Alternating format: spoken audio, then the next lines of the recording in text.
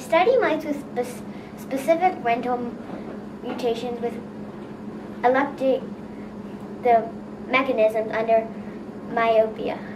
What does that even mean? I measure the ventral ganglion cell plus inner plexiform layer thickness of macula, the retinal nerve fiber layer, thickness around the optic disc, and their relationship with visual field damage.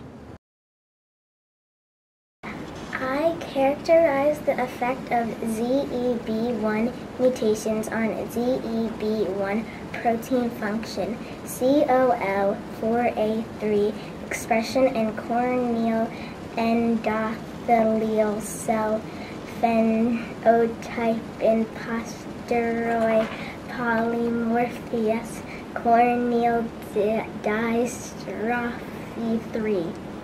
Science can sound like a different language, yet communicating clearly to anyone about our work is increasingly important. So, how would you explain your work to a 12 year old?